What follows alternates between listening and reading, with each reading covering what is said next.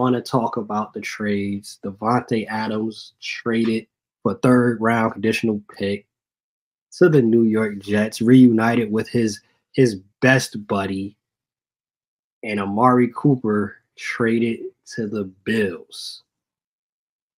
Which of these teams with this trade do you feel that the needle was moved the most to accomplish the goal of winning a Super Bowl?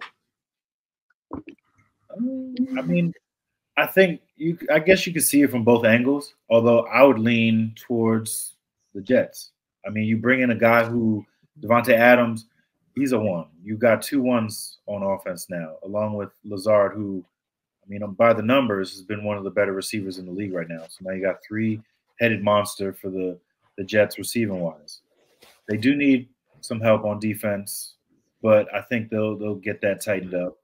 Um, the main thing is now you got a receiver who has chemistry already built in with Rodgers. I mean, they they were in Green Bay for what seven, eight years, and um, Rodgers helped him become the receiver that we know today. So bringing him in, I mean, that it doesn't hurt. It doesn't hurt to do this trade now. I really wish we would have been able to go three and three and be uh, tied for first place in the division when we did this, but um, we can make we, we, can make a run here. And I mean, if we can get get to four and four by Halloween when we play the Texans, I mean, the sky's the limit. The Amari Cooper trade is cool, but we could be seeing a decline in Amari Cooper. He hasn't looked as explosive. He's been a little. He's leading the league in drops. I think. I mean, think receiver is a position you're supposed to catch the ball, Greg. Am I right? I mean, that's what you do on Thanksgiving. You catching the ball. You're not dropping it. I mean, I hope I hope not. But um, yeah, Amari Cooper, it's a cool move. But the way this offense in Buffalo is being ran, they're leaning more towards the run. I mean, you saw it on Sunday. They or Monday night, they were killing us on with the run. And I think that you know, if it's 60 40, that might be 55 45 now, but I still think it's going to lean towards the the run.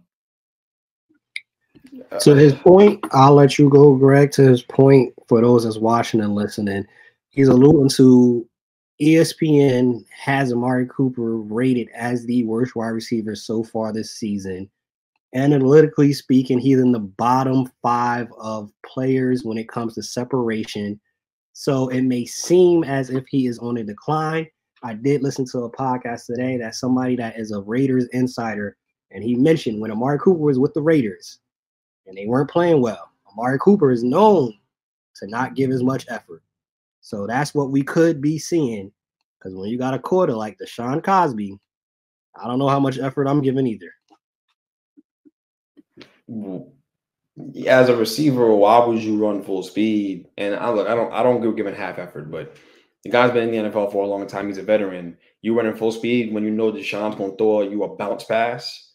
Uh, you know, uh, uh nine times out of ten, it, it doesn't work. It's not. That's not the way it's going to happen. So clearly, it's he's rated that low, and he, clearly Miles is saying that he's he's declining, which he's just saying that to fit his narrative because you know it has to be about the Jets and all that. So I get that. But the reality of it is, is if you look at these two teams, the Bills were closer before both trades were made. The Bills were closer to a Super Bowl and being a Super Bowl contender than the Jets were, way closer, in my opinion.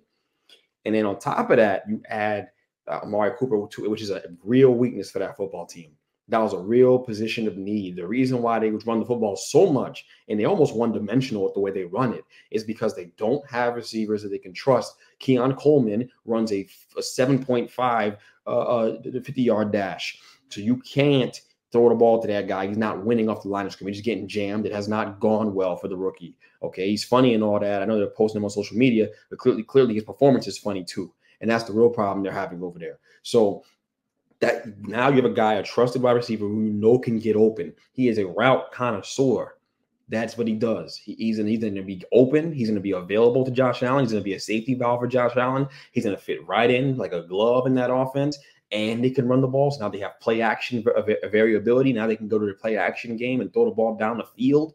They're going to be hard to beat. That team can win a Super Bowl. That's a real Super Bowl contender. Their defense is very good. Taylor Rapp is a hell of a player over there. Their D line played good football. Epenesa got get to the court, getting to the quarterback. Rousseau is coming on strong. That is a very, very good football team that has a chance to win a Super Bowl legitimately. All the Jets did was continue to do the same thing they've done that put them in this mess, which is appease Aaron Rodgers. They did nothing to add to the Super Bowl hopes by adding Davante Adams. He's he's literally a fine piece of china. That's all he is. He, he, they didn't they didn't fix the bedrock of the football team. They didn't fix the foundation of the football team. You know what the Jets' problem is?